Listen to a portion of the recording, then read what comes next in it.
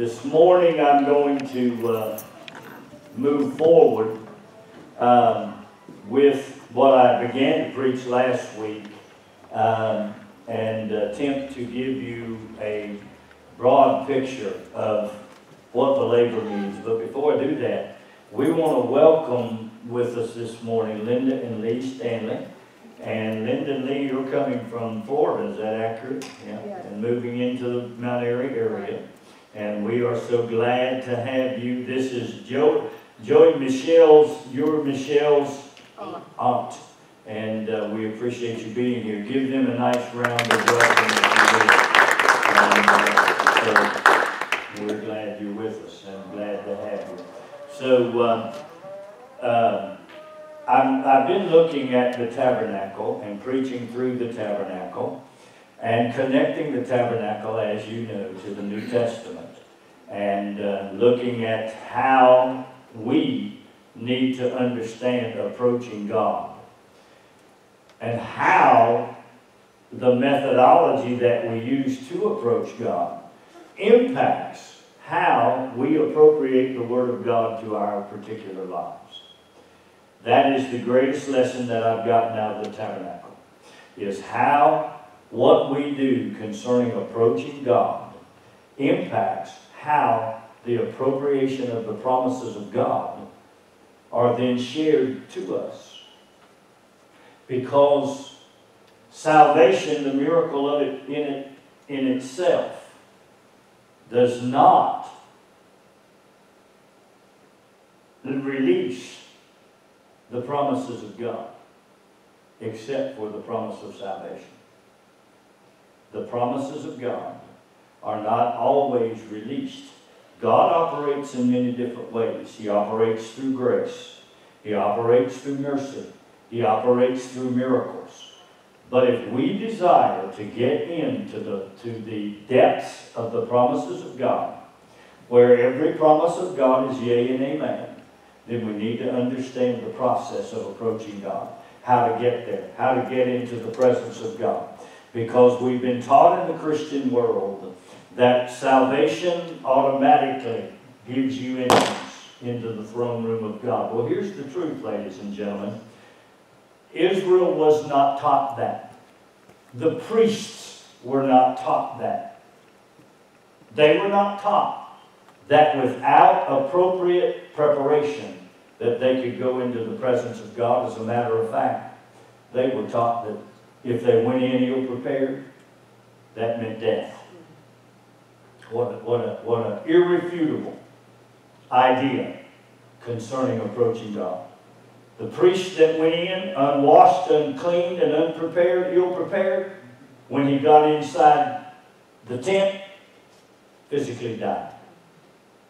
What we want to do is to understand how to get to God, to mine the wealth out of the Word of God, so that we can live and actually have the presence and the power and the promises of God operating in our lives. But I know as for me, that hasn't been something that's been taught. We just got taught we got saved. David said it Wednesday night, and everything was hunky-dory. We were wonderful, boy. We got saved, bless God, and everything in our life was just going to be okay. And it, unfortunately, it doesn't work that way. There's a process of this thing that God taught Israel. So we're going to look into it today. Part two of the message concerning the laver and its significance in our approaching God. Stand with me in honor of the reading of God's Word, if you will. Ephesians chapter 5, verse 26 and 27 said that he might sanctify and cleanse it with the washing of water by the word, that he might present it to himself, a glorious church, not having spot or wrinkle or any such thing, but that it should be holy and without blemish. Father, we thank you for the word of God today. We thank you for those that have assembled themselves today in the house of God to hear the word of God. I pray that you'll open their eyes that they can see and their ears that they can hear and their heart that they can understand what the Word of God says to them. And then that they can make application into their life so that they can so that they can grow and develop into the image of Christ. Father, I surrender myself to you today and I ask you to speak Holy Spirit, as you always do to your people, I surrender to you today. Open my eyes, my ears, my heart, that I can hear and know how to minister to this church. In Jesus' name I pray. Amen and amen. Now, last week I talked to you about the connection between the drink of the body and the brazen altar. We also understand the connection between Jesus washing the disciples' feet and the bath at the laver. Okay? Now, one of these days, whenever I think about it, I'll bring with me and put it on the wall the picture of the tabernacle. Mom has that, gave it to me, and I have it at home, and I'll set it up on an overhead so you can get a picture of what it, what it looked like. But I, I want to give you this description of it. There was the tent, the, the, the door to the tabernacle, the door to the gated area that included the tabernacle. Once they walked in that door, there was the brazen altar a few feet from that door where blood was shed and where blood was put on the horns. And we understand that to correlate with Jesus in communion when he said, Drink of my body, uh, my blood, and, and eat of my body. Then a few feet from there was the laver. The laver was the place that the priest went to wash himself to sanctify himself before he walked into the tent, what we refer to as the tent of blessing, where he found the incense burning and began the last approach to God. Okay? Jesus had a very specific relationship whenever he washed those disciples' feet because he was relating what he was doing to what they did in the Old Testament. Jesus very specifically shared with the disciples. And his sharing was an inclusion of the Old Testament priests and how they prepared for the time for when they would approach God. Now, your role as a Christian is to understand how to prepare to approach God. And I'm going to show you that today. I want you to notice in the verses which we will consider today, that Jesus completed the act of washing their feet prior to unfolding the inside information to those whom he had done the action. He didn't tell them before he did it what he was doing. He told them after. He said, You are not aware of what I've done to you. But anyway, they were, they were willing to move forward. Now I want you to get this. The disciples were willing to move forward with this activity because of how he responded to Peter. Do you remember how he responded to Peter? He said, Peter, uh, if I don't do this to you, you have no part in me. If I don't wash you, you have no part in me. Peter said, don't only wash my hand, my feet, but wash my head, my hand. In other words, wash all of me because I want to be in full position with you. Now those people, those men still thought that there was an imminent kingdom that was on its way, of which they would have a major portion of leadership in. So after he had washed their feet and taken their garments, and, and, and his garments, and was sat down, he said unto them, Do you know what I have done to you?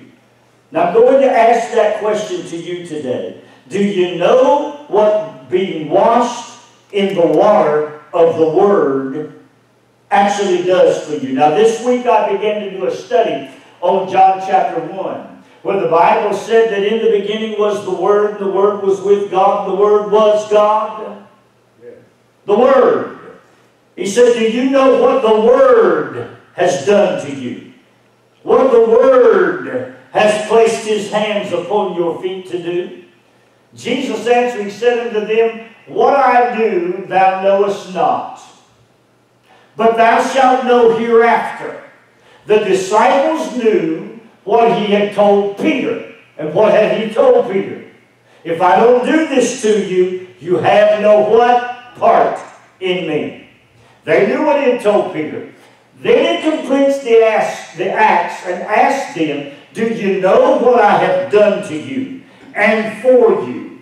Are you aware of the fact that I have washed you? Now watch this next word so that you can be received into the blessings of God.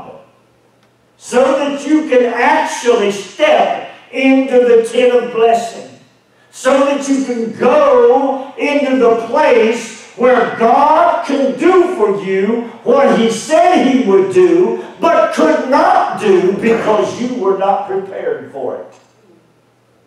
Now think about that a second. God has made many promises. We've got various counts on how many promises there are in the Word of God. God has made various promises. But I want to ask you a question this morning. Other than the promise of your salvation, how many promises can you point directly to that you can say, He did that for me? Well, the, the reality is there are probably very many that we can say, Well, I was sick, but now I'm well. I was in need of money, but now I have money. We can look at many promises and say, well, God did that. We can ascribe many, many, many things to God.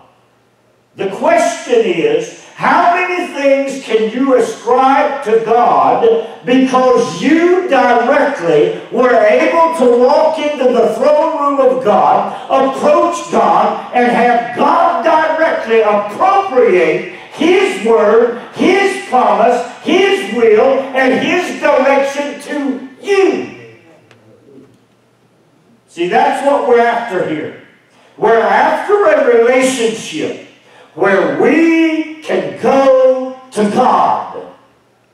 Not to count on a man, not to count on a friend, not count on counselor, not have to count on a book, but we can go to God to get what it is that God has for us.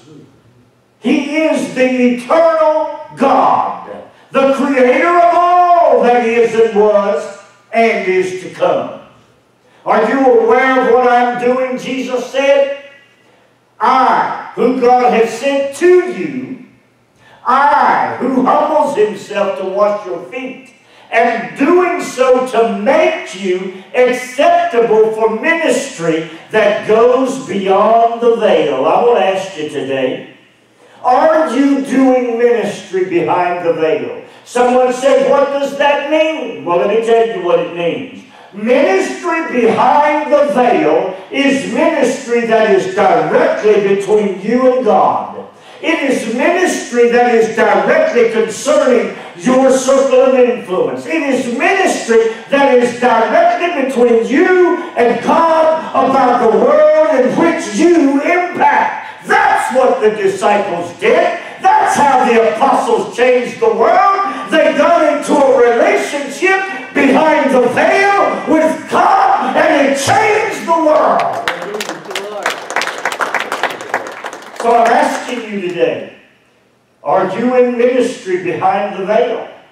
Have you been sanctified by the washing of the water of the Word so that when you walk into prayer, you walk into the presence of God and your world is impacted, influenced, and changed because you are there?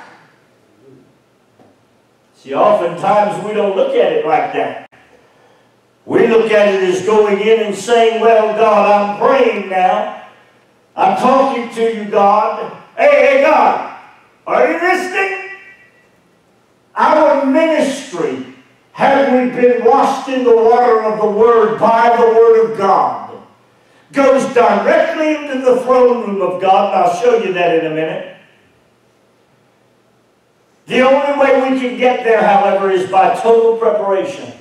We cannot get there by just coming into the blood. The blood will save you. The blood will translate you out of darkness into the kingdom of His dear Son. When they walked into the tabernacle, into the camp, they brought the blood. They brought the animal. The animal was slain. It was slain for surrender.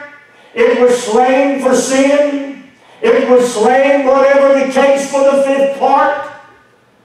But that man walked out of that, counting on the blood of the animal, turning his life over to the priest.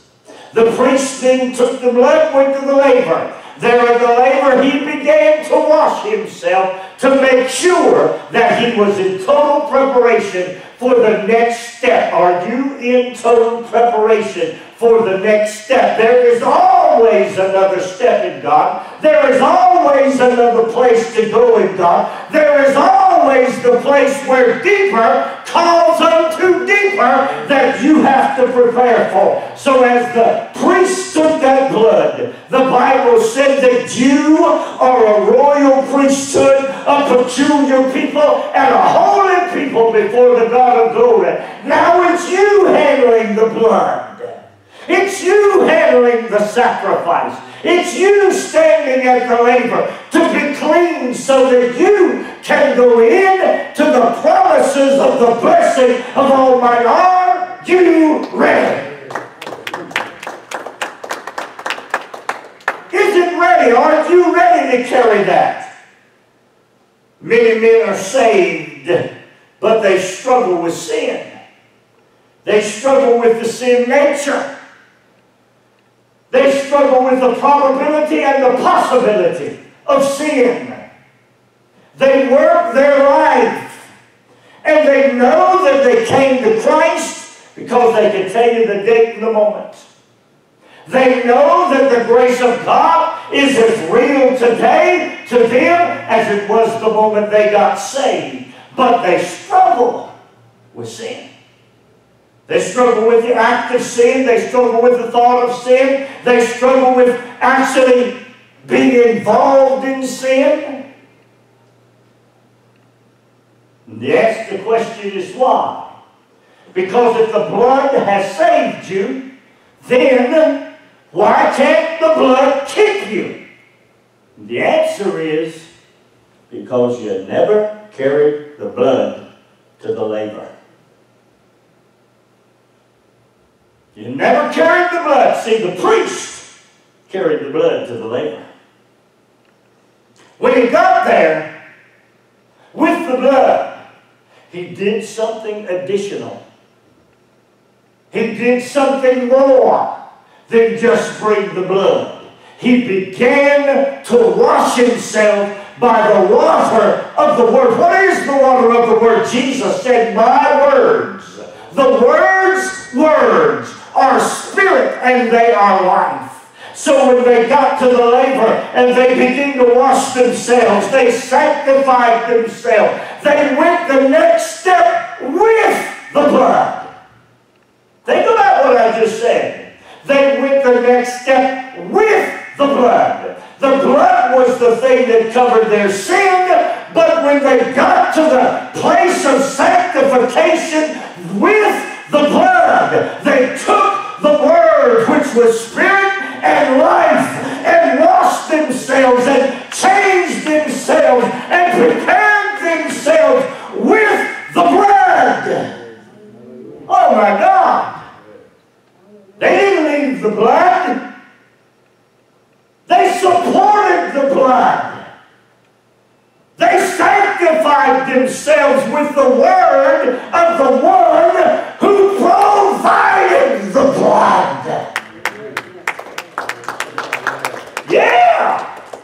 See, that's a completely different position. Now that I've supported myself with the words of the one who provided the blood, I can be ready and prepared to enter into the promise of God inside the tent. Oh, yeah. Now the promises of God become yea and amen. Watch me now. You're going to hear something you never heard before. The promises of God outside the tent or the tabernacle were that your sins would be forgiven. Think about this now. The promises of blessing where the promises of God were yea and amen were not in the outer court. Huh? Salvation, forgiveness of sin, was in the outer court. The only way they could get to the promises that were yea and amen was to sanctify themselves and support the blood with the word Jesus Christ so that when they got to the temple, to the tent door, they were washed and sanctified so when they entered in, the promises of God became yea and amen to them. Ooh. You mean to tell me that in the outer court, the blessings did not exist? I'm telling you, the blessing in the outer court was that you would be saved. The blessing in the outer court was that you would come to know God. It was not until he washed them in the water of the Word that they could have a part in him.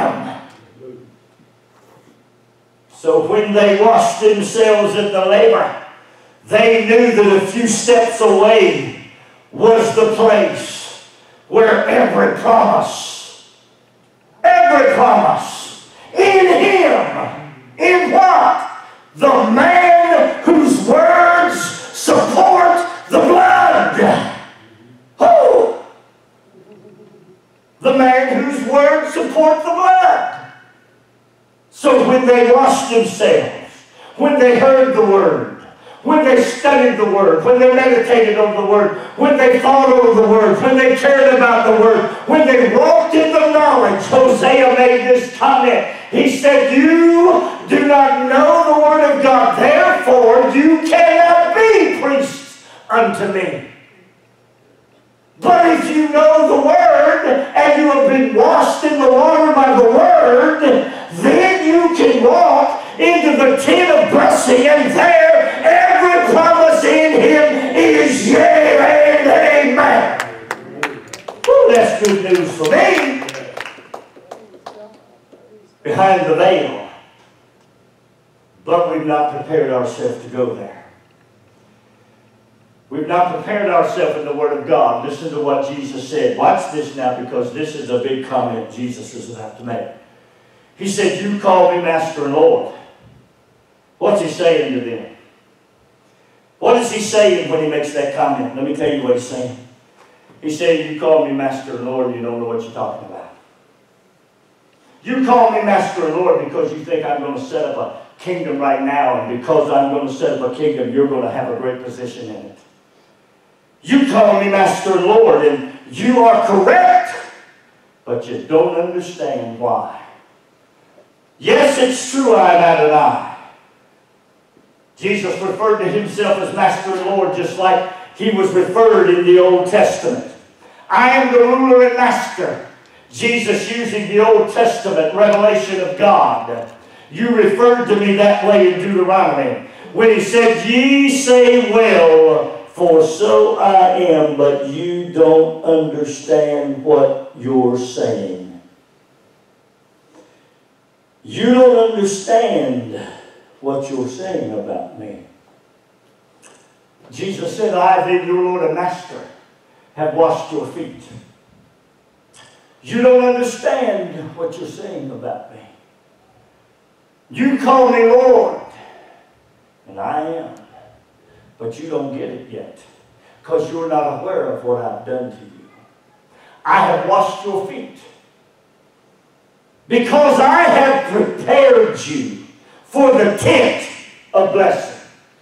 You also must understand that you must wash by the word, by me, other people that are to come after you, because you will never be received into the tent of blessing until you're washed, until you're prepared, until you're cleansed. The promises of God, unless they come strictly and totally by the mercy and miracle of God, will not be appropriated unto man until man brings the blood and supports the blood with a sanctified, holy, peculiar life, a priesthood that knows the word of the washing of the word God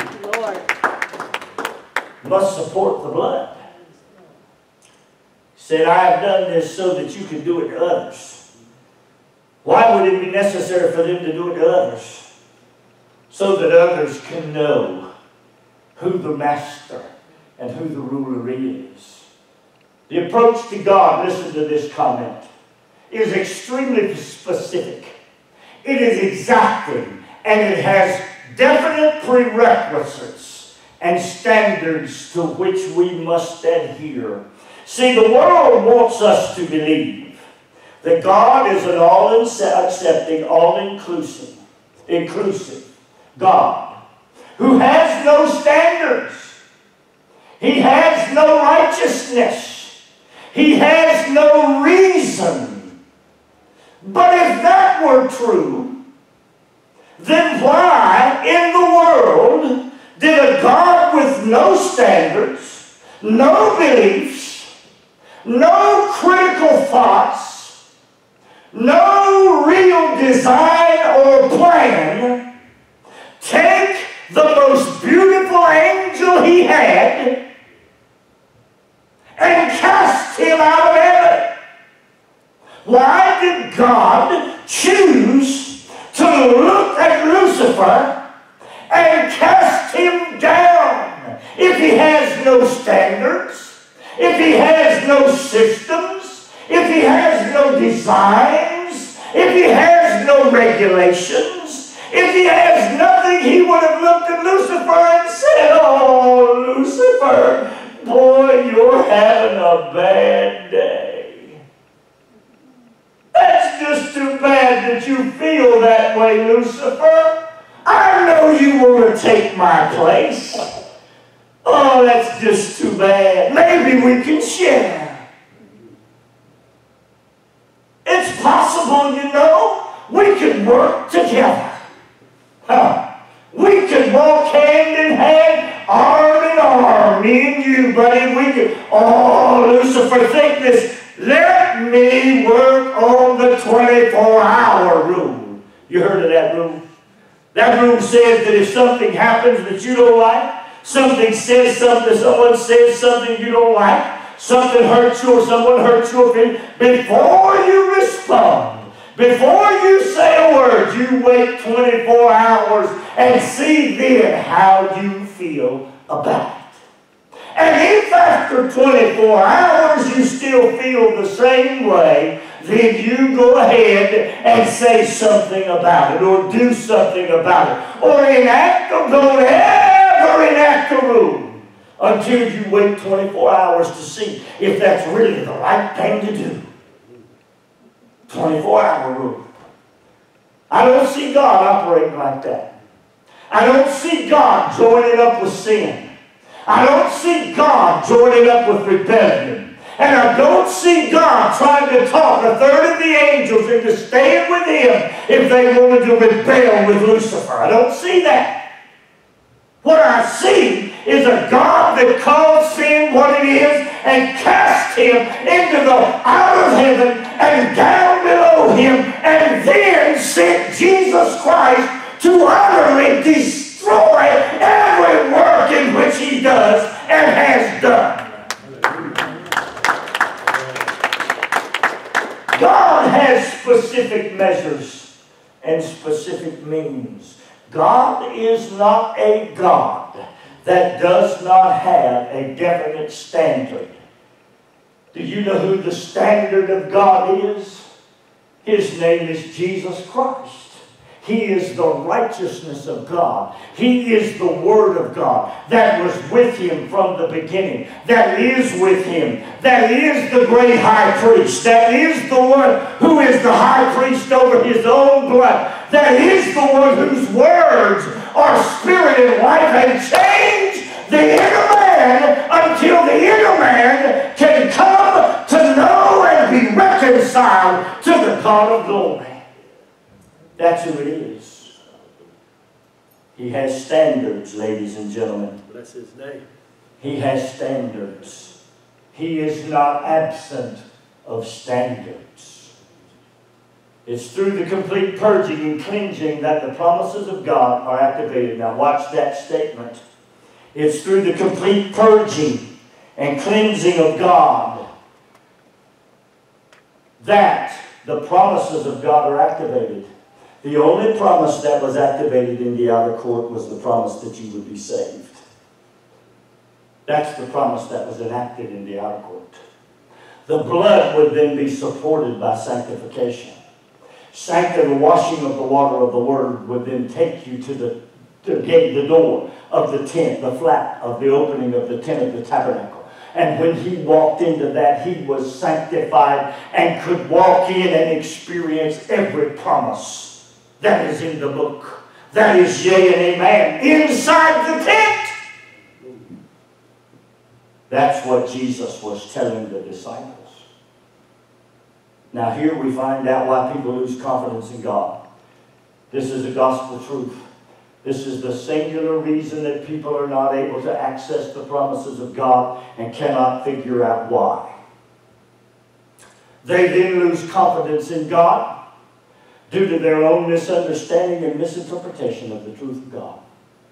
And they walk around and they say, I, I, I don't know where God is. I, I, I, is there even God?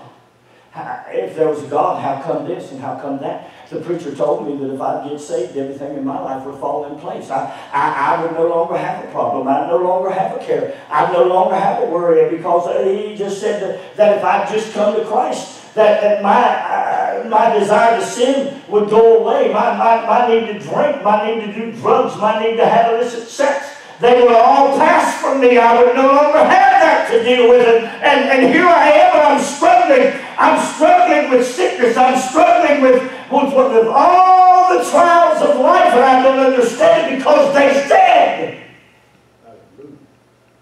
The truth of the matter is, until you learn how to access the promises of God, until you learn how to support the blood through the Word, Jesus Christ, and His words, which are spirit, and His words, which are life. You will not walk into the tent of blessing, and therefore you will wonder, why am I in the outer court? Now, let me tell you something, church. There were lots and lots of people in the outer court. The outer court had all kinds of people. It had people bringing sacrifices. It had priests carrying sacrifices. But inside the tent, there were only a few. There were only a few people in there, a few priests in there at a time, experiencing the presence of God, experiencing the promises of God. If you want to get there, there's a process to get there, church. There's a way to get there for every man. You know why? Because you've been called a, a priest. You've been called a holy people. You've been called a peculiar people. God has said to you that you have access. For I have given you an example that you should do as I have done to you, so that those that follow you and follow the word that you teach will gain the same access. That's why he said that. Listen to what I'm saying here. He said, I have done this so that you can do it to others. What was it that they were supposed to tell others? Be sanctified by the Word of God. Let the Word of God change you. Let the Word of God cleanse you. Let the Spirit of life that is in the Word of God sanctify you until you can access the very promises of God. Paul said in Hebrews 4, 4 uh, 14 through 16, Seeing then that you have a great high priest we have a Lord and Master that has become the great high priest of our confession and profession that has girded himself according to Ephesians 6.14 with the truth and washed us with his own hands and cleansed us with the truth of the gospel. That man is passed into the heavens and here's the key portion of this scripture. He has passed into the heavens. He has made an avenue and a direction. Jesus, the Son of God, let us hold fast what he told us to do. Wash yourself in the water. Cleanse yourself in the Word of God. Purge yourself in the laver so that you can enter in. Hold fast your acknowledgement that what He has done, He has prepared you to do also. For ye have not a high priest which cannot be touched with the feeling of our infirmities. Now watch this now. Listen very carefully. Now he has passed into the heavens and we acknowledge that He has prepared us to do the same. Listen to what I'm telling you. Jesus Christ prepared you to enter the throne room of God. If you will come by the way of the washing of the water of the Word and support the blood by being sanctified by the Word of Jesus Christ. Now watch what I'm about to say. Now he has passed into the heavens and we acknowledge that he has prepared us to do the same.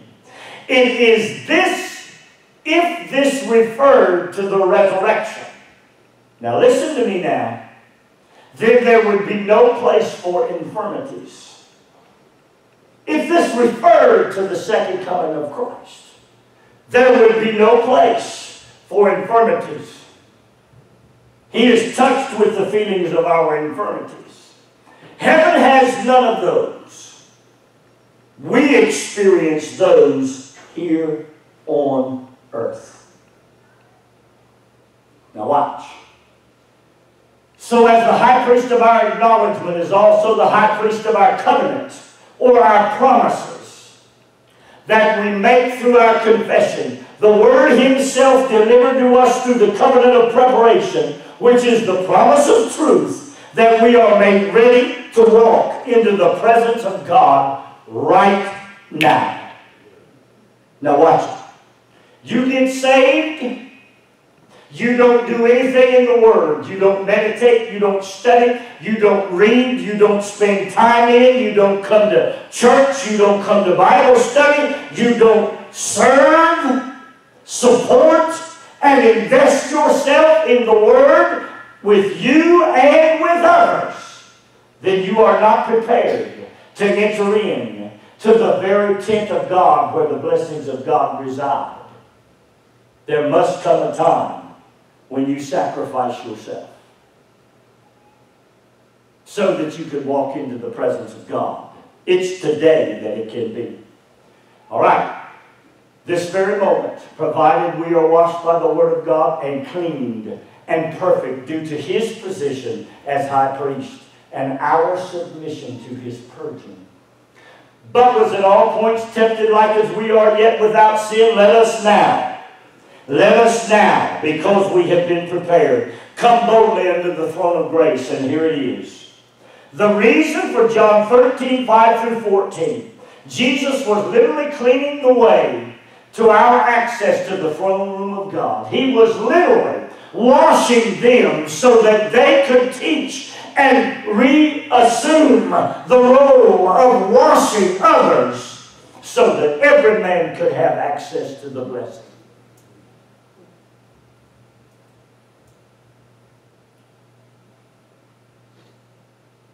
Let us therefore come boldly into the throne of grace, that we may obtain mercy. Compassion is found in the presence of God for all of men's needs. But in order to take in the grace and mercy referenced here, a person must be able to access, listen to that word, access the throne room. How do you do that? Seek ye first the kingdom of God and his righteousness. Seek first Jesus. There's the secret, ladies and gentlemen. And all the access you need will be added unto you. Seek Jesus. Seek Jesus. Seek Jesus. Seek Jesus. Seek Jesus. Someone said, Well, I've been saved. What do I need to seek Him for? Because Jesus said, My words are spirit and their life. In me, every promise is yea and amen bow your heads and close your eyes. Now, Father, I have given these people this portion of the washing of the water by the Word. I have shown them today, God, what your Word said. Let us therefore come boldly into the throne of grace that we may obtain mercy and hear your Word said and find grace to help in time of need. Father, today we have a time of need. In this room, God, there are many needs. There are needs of healing. There are needs of direction. There are needs of purpose. There are needs concerning your intentions. There are needs of finance. God, there are many needs in this building and among this people. Now, God, today I have told them how the priest prepared to enter into the tent of blessing. And I've shared with them that they are priests as well. They are a holy people and a peculiar people. But God often, our cultural and societal teachings about you have left us short in the knowledge of the truth. Today, God, I ask you to open their eyes that they can see that it is the Word that was with you in the beginning, and the Word that is you, and the Word that speaks the Spirit of life that is in Christ Jesus, and the Word that supports the blood that saved them it is the Word that washes them. And it is the Word that prepares them. And it is the Word that is Spirit in them. And it is the Word that is life in them. So that they can find help in their time of need. Now, God, quicken this to them, I pray. Quicken this to them, I pray. Quicken this to them, I pray. Quicken it to their spirit. Quicken it to their lives. Quicken it to their heart. Quicken it to their soul.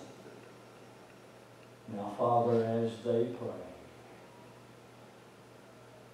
in some cases as they repent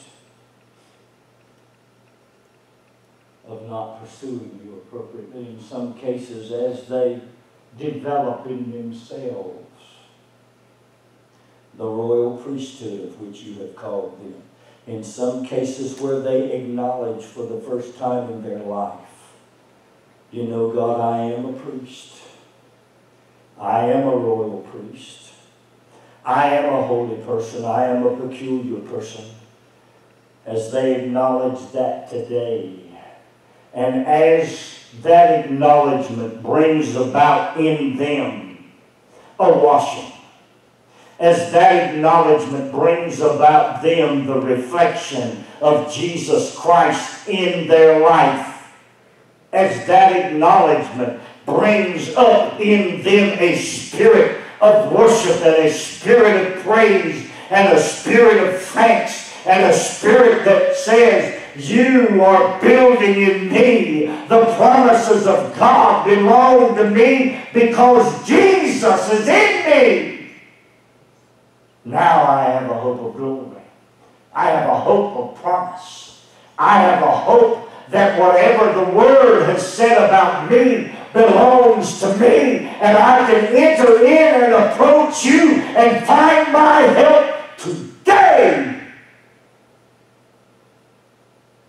as they pray that prayer, I pray that they will stand and worship you and honor what you're doing on the inside of them. I stand today to say thank you.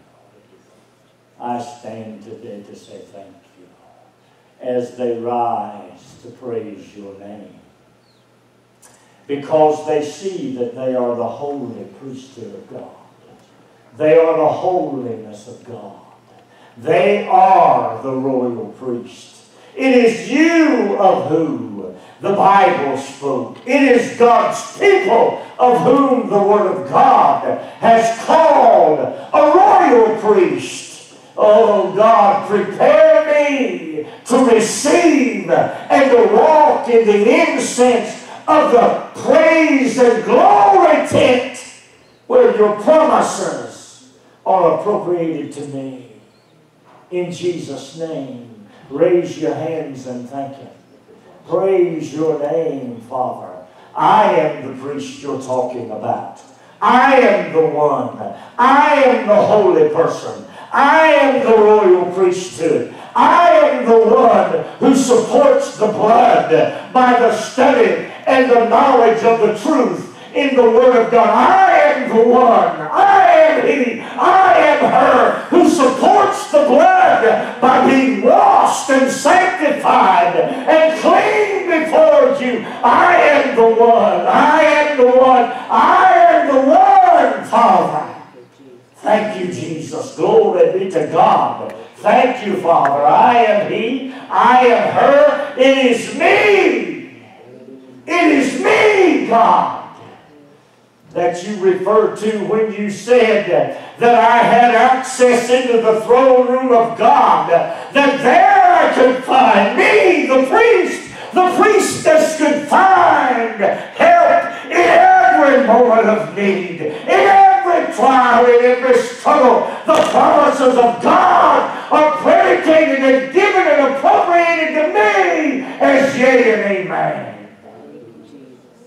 Glory to God. Hallelujah to the Lamb of God. Thank you, Jesus. Hallelujah. Hallelujah. Hallelujah. Thank you, Jesus. Glory. Glory to God. Thank you, Jesus. Yes. Thank you. Glory to God. Hallelujah to the Lamb.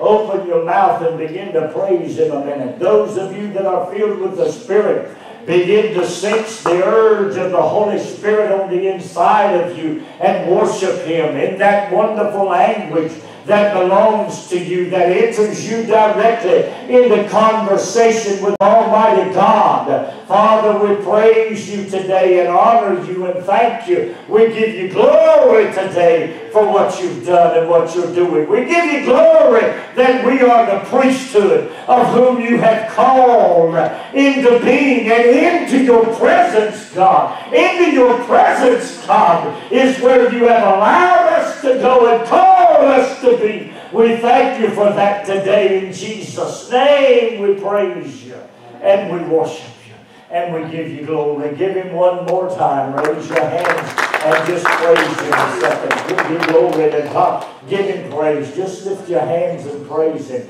because it's you he's talking about. It's you he's talking about. Brandon, he's talking about you. Juliana, he's talking about you. Linda, he's talking about you. When he says holy and peculiar, Jesse, he's talking about you. Uh, Sheldon, he's talking about you. Tara, David, Charles, he's talking about you. Linda Lee, he's talking about you. Steve and uh, Christine, he's talking about you. Martha, Lorraine, Heather, he's talking about you. Wade, he's talking about you. Joe and Michelle and Maddox, he's talking about you. He's talking about Becky and the children and Rita and Mom and Dan and, and Tony and Steve and Sharon and Mike.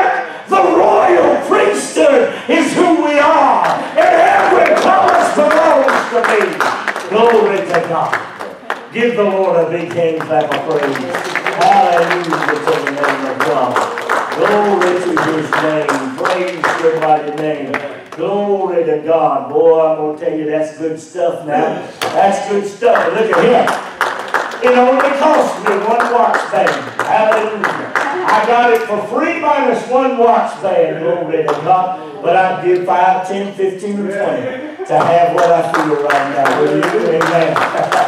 Isn't that the truth? Glory be to God. Thank you, Jesus. Well, what a great place it's been. And uh, uh, I don't know whether I finished this or not, and I may come back to it, try to finish it next week. Uh, but you can, we cannot emphasize this enough.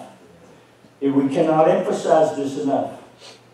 Uh, I can't preach it enough until I feel like the Holy Ghost releases me from preaching this to you because for you to get where you want to be, you have to go through the process that God has set forth. You understand that? God set forth process. I didn't. It was my role to listen to the Holy Ghost and that the Holy Ghost through me share the process with you. Amen. Listen, I love you. I appreciate you. Thank you all for being in this area. I appreciate that. God bless you this week. Wednesday night, Becky will be teaching. She did a great job last week teaching us on Paul's writings and how to uh, discern how Paul is writing the Word. And uh, I don't know exactly where she'll go with that this week, but I guarantee it'll be good. Then after that, Julianne is coming to teach for us for two weeks, and then we'll see where we go from there. Call your people on your list. If you don't have a phone number, then get with me and I'll give you the number that I have. Listen, did I tell you this today? Let me think. I love you. I appreciate you. I appreciate your work. I appreciate you being here. I appreciate your giving. I appreciate your prayer. I appreciate everything about you. And I hope that this message is quickened to your heart and you'll walk out of here as a changed person. Not just saved anymore, but now walking in the priesthood that God called you to. Amen. Tony, I forgot you. You know who you are? You're a royal priest. Did you know that you're a peculiar person? Now, others say that about you in one way. I'm saying it about you in the God's way. Amen. You're a holy dude back there, Tony. God bless you. God bless you. Let's pray. Father, we thank you for the word of God. Minister to your people as we leave. I pray that you'll take care of them, keep them, give them peace, counsel them with great glory. And for all of that, we'll give you honor in Jesus' name. Amen and amen.